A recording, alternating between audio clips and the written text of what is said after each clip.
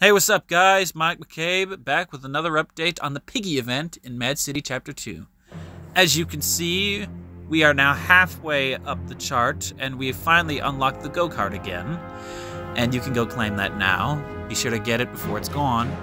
We're about halfway up, and uh, I've heard that once we claim all the prizes here, things are going to be changing a little bit, and we're going to have another boss fight on our hands.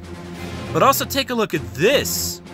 Crispy Bacon is actually getting bigger and he's starting to float, and he's hooked to some chains. Stuff's getting interesting. Keep grinding, guys. Talk soon.